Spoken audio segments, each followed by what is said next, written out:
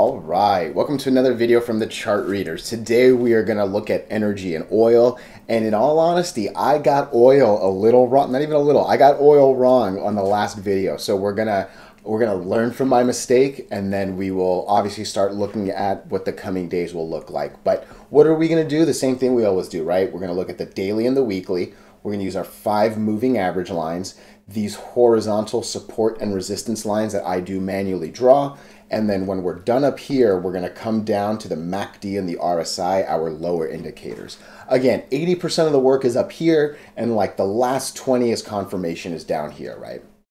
So the last time I made this video was on the 18th, okay? And we start with SCO because this is an, a short on oil, okay? If this does well, oil stocks will do bad. If this does bad, oil stocks will do good. So I like to look here first to just kind of give me an idea of what the landscape should look like. And on the 18th, when I made this last video, it just really seemed a lot more positive than obviously it ended up being, right? So we made a pretty good run up. We landed right on my line and made a pretty hard dive down. We then literally landed on my line, made a pretty good rise up, and actually filled most of that four day gap, right? I in on this 18th, right? The reason I was wrong was I thought we were gonna come this high. I thought we were gonna come to 2750, breaking the 20, and really kind of making our way to this line as well as the 200 ultimately, right? So I just saw it as breaking out of this channel and working on up. Clearly, it didn't happen because we just couldn't get over the 20, right? And from there, really the last five days, especially, I've been nothing but trading under the eight, right? So, again, I got it wrong just because I thought breaking the 20 was going to be a lot I guess, easier. There's really no other word for it, right? And this is why I do talk about waiting for confirmation, right? It would have been better to say, let's wait for this day and, you know, make sure, right? Versus kind of assuming and, you know, obviously eating the bad side of it, right? So you can call it a combination of greed, you can call it a combination of like over assumptions. But yeah, I definitely assumed it was going to go up. I got it wrong. And hey, the important part is just making sure you're aware of that, learning from it, and all that sort of, you know, all that sort of nonsense. But it's not nonsense, it's true, right? So again, just talking immediately, we're five days under the eight We've now lost 100, and really more than anything, we we have lost a cluster, right?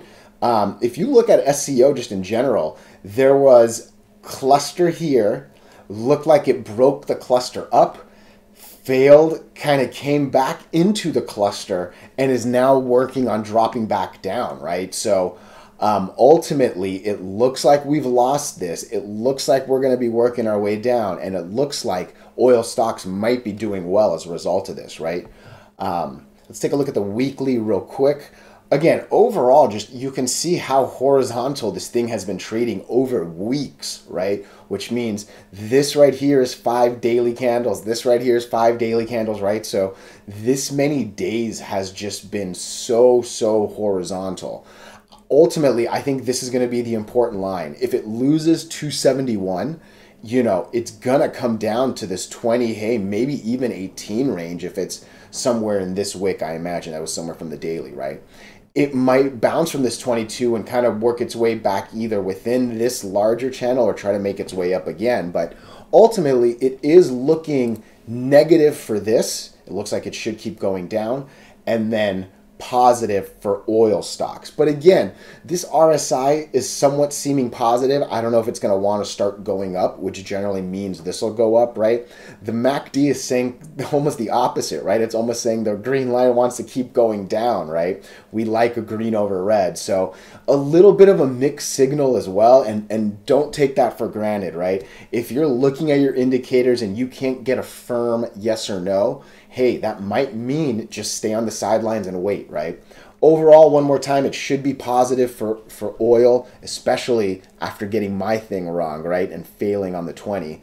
Um, but nonetheless, it's not really screaming, screaming positivity. So Oxy, again, this was one I definitely got wrong, right? Because on the 18th, and it's funny, we were actually trading over the 8 right? But I still thought pessimistic things, right? So you look back a little bit, and it's kind of funny, right? There, I, I went against my rules, right? But we've been well over the eight for a number of days, right? And we love it. We love trading a stock number one that's over the eight, number two that's riding up on the eight, right? Um, this looks like a little bit of a bad day. It's obviously not a monster percent loss by any means, right? And look, we're still at least over the the yesterday's full candle. We're still over the eight. I would pretty much just get a little worried if we lost 71.50, basically the open of yesterday, right? Um, hopefully, though, it keeps going up. It keeps staying up with the eight. And remember, we haven't even come back down to touch the eight and then bounce back up, right? So the eight, as much as it is a ride up, it is also a bounce point, right? So um, yeah, overall, again, with the way Oxy was looking, this does seem a little positive, right? There was definitely a cluster, looked like it lost, did the exact opposite, came back in, and obviously did the opposite of SCO and went up, right? But again, it's just still a little shaky because we've got green over red here, but red over green here. Um, 50 by no means is a bad number. It's not overbought or oversold yet, but um, it would have been nice to go up. I'm at least happy to see that you know there was a three day struggle with this line, and then ultimately it did break it up. Um, but again, though, it just it seems a little less definitive than ideal. When you're swing trading, I'll tell you, you definitely want more definitive than than um, up in the air, right? Because a swing trader might not have his or her finger on the mouse all day, right? If you're day trading, it might be a little different um, way of looking at it, but honestly, I'd feel a little uncomfortable putting in new money into this, even though we're still over the eight, even though SCO didn't look well, just because again, it's not super, super definitive, right? Um, obviously, if we can get over this, what line is this? 7764 is what I thought it said. Yeah, 7764. That's going to be some good trading up. Um, there's a couple places this might end, right? Just kind of using the top of this the top of this, even maybe that line right there, because it hits the top and bottom of that roughly. Um, and you can see that actually might have been what it was today. So, um, yeah, just overall, I'm not like the daily looks good. Again, trust me, I, I, I feel like I'm, I'm saying the opposite of a lot of my rules, but yeah, it just seems a little. But see, this is a great weekly, right? We're, we're two, three weeks over the green, four weeks actually as well, because this one, this one, this one, this one. Um, what number is this? 73 64. Yeah, I mean, I, I think this might have been a, a, a, pretty important wall. I don't know if that's what hit today or not, but oh man, I'm just. This is also why it's important to have other indicators and stuff like that. I would I would need more info. I hate that I'm not as definitive, and I think I'm a little hesitant because I got last week's wrong too. But hey, you at least heard my thoughts. Again, I hope it's it's valuable, right? So Oh man, Indo, look at this. So we've talked about that 100 moving average, right? And I mean, it's so magnified right here. Looked like it was going to break, looked like it was going to fail, looked like it was going to break. Actually got another day over. And then just a really hard, really hard 7% loss, actually. That's not a good RSI. I do not like seeing that at all. And yeah, just I can't believe the 50 this time was ultimately what shut us down. But I've said it if we can get over the 100, which hasn't happened in a long time, this thing would do really well. And make sure you wait for good confirmation on the 100 break, right? So, um, yeah, really sad to see. Honestly, this this day today was pretty devastating and might start to lead to the downtrend. And I think that goes back to Oxy with Oxy looking good, Indo not looking good. Um, I know this one's a little more energy than it is necessarily oil related, right? But again, most of these first ones should be doing a little more a little more unison of a move and i just i knew this one was bad today and i think that's also what was shifting my oxy thoughts as well but um, yeah, really rough today. And again, you can still see the same cluster up here. It's not as loud, but getting over two lines on the weekly is not an easy thing. It's getting over two lines on the daily is not an easy thing, let alone on the weekly. You know what I mean? But yeah, just a really devastating day to what looked like it was going to be a cluster escape and run up, right? So, um, yeah, real rough here. Again, seemingly this does not look good unless we can at least get over the. Look, we would really need to get over the 20. I would want to basically get as close to $7 tomorrow to even consider Indo still in play because after this day, it makes me seem like we're about to fall out of this um, cluster of moving averages versus what looked like we were about to fall jump out of it right? So really indecisive moving and, and oh man that is a swing trader's nightmare right there. CEI coming to CEI look again just working on the eight right it seems like and look this thing's been struggling to get over the eight, and I've been I've been I don't want to say shit talking this thing, right? But this thing's been struggling to get out of all time lows and move up, right? You can see it just wanting to go up and go down. Today was just not a great day, right? There was moments when it was this high. Even yesterday, there were moments when it was this high, and ultimately it drops under both times, right? So um, I just don't like how we're seeing a lot more negative on these stocks than we should based on what SCO was doing, right? And um, obviously, I got the week wrong, right? But I, I still, I think in the back of my head, think SCO is going to do well. And, and these oil stocks are going to do bad. So it's just, I think that's what's really ultimately happening in, in the back of my head, right? And again, I've said it a few times. When I move my money, I am using what I call the one we're using chart readers, right? Which is this. And believe me, that's way better than a blank chart. Like, what does this even mean, right? This is the same CEI. It's obviously not a line chart, but I mean, you know, there are reasons why chart readers is way better than blank chart and why the one is better than chart readers. And ultimately, I would want more indicators to get more information and make a better decision here. But ultimately, hey, this hasn't even gotten over the eight, right? So at the bare minimum, get over the eight, and hey, maybe we'll talk. Obviously, getting over the 20 is going to be a lot better because, hey, playing the 20 to the 50, I think is going to be a way safer move than playing the 8 to the 20. So, um, yeah, Let's look at the weekly real quick. Ugly weekly. That's all I got to say right there. Ugly weekly. So, um, IMPP, this is the last one that I kind of put in this oil family. Um, again, look at this. So we have a cluster. It looks like it wants to break out of the cluster. Even here, it looked like it wanted to break out of the cluster but couldn't do it. And then again, just going to the 100. This thing's actually never been over the 100 on the daily it actually did get over the 100 on this two day window and then came back down, right? So, again, does it want to run up all the way? Why did it hammer down so hard right there? I hate that the RSI doesn't look good. Um, man, I'm telling you, this. Uh, th- there's so much that looks like it should be good, but there's just this weird hesitation of it not being, right? So, um, again, at this point, excuse me, getting over 44 cents is going to be probably the safest thing to do because um, getting you over 44 will get you well over the 100, will get you over all of the green candles in this, and then ultimately should be starting this uptrend climb, right? So, but yeah, it's weird. Like, again, cluster trading, cluster trading, cluster trading looks like it's going to go up at least a healthy bounce here. At least we didn't come all the way to the bottom. Um, I just, this is an ugly day of trading. It went from flying to just dropping, right? So, um, still relatively better than yesterday. Um, but yeah, it's weird. I, I, I'm just, I'm a lot less definitive than I want to be, you know, and just the way that the the earnings reports are coming out and things are happening. It's it's a it's a weird market to say the least.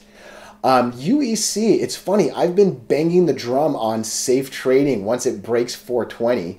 Um, it actually made a pretty hard midday run the next day on what should have been the confirmation day, right? Um, it literally almost filled that channel gap in one trading day and then again just kind of got hammered down, right?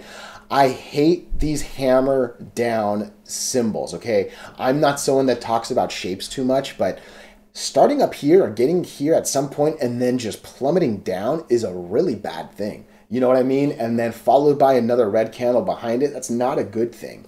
I'm hoping this 420 line is strong enough, but um, yeah, it's just I, I hate that I said break 420, you'll have a safe run. It looked like it wanted to do it, and then it just kind of decided no, you know. Um, maybe this second run will do it, but again, even now I just kind of start looking at the RSI. I think I see green actually under. It looks like there's red on top and green down there, right? So, um, man, I just I'm I'm sorry I'm making such an inconsistent video, but um, you know, these are just really my honest thoughts based on this, right? And it goes back to this is a really good intermediate stack. It's way better than a blind stack, for lack of words, which is literally just price line, right? Um, but there are times when you need either more information, more indicators, other indicators, or just say, hey, let me wait till the fog clears up, right? So, um, yeah, UEC, this is actually a really good weekly chart, right? This right here is extreme uncertainty, right? We've talked about the doji where like, dude, this is literally a single line on the 420. It's gone as high as here and as low as here on one week span, right? So that screams inconsistent, but it at least stresses the importance of that 420 number I've been saying. It's just, it's not reacting the way it would have in a, in a better market. So um, yeah, I, I would really say try to find yourself some other indicators or just wait for the fog to clear out. Look, this was another one, Gevo. I really remembered making on the video saying, hey, Gevo had a shot at breaking the 20. It actually did what I would call a healthy bounce on the 8. Made it look like, because it broke the 20 this day, actually did break the 20 this day with a good run close to the 50 actually. And then just boom today a 7% 6.5 whatever lose both lines right? So man it's frustrating. It is. So um, it's it, it's a crazy market. It just it really is. And this is the way people die a thousand die by a thousand cuts you know? It's just these slow and stupid move. So there is something to say about just waiting for the fog to unsettle. It's just let's be honest, we're all a little bit of a gambler, right? So I should at least I know I am. Um, but yeah, Gevo superset. I imagine LIACF might look something like this. We'll find out together right now. Yeah, I would say so because again, I made the video like I said on the 18th, which was this one got over the 20 that day, then didn't. Then it looked like it bounced on the eight. Then it looked like it lost it. Then it looked like it won. It's just it's so up and down right now, and it's it's really frustrating. And again, you can see it with the RSI. It's just it's so tight. And when I think it's looking like it might want to break out and go up, it just actually decides to not. Right. So.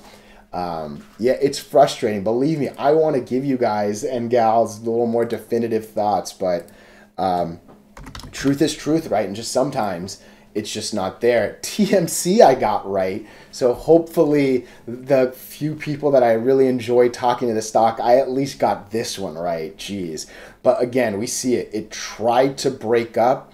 It definitely failed. I made the video on the 18th and it just seemed like it was going to fall off of this cluster, right?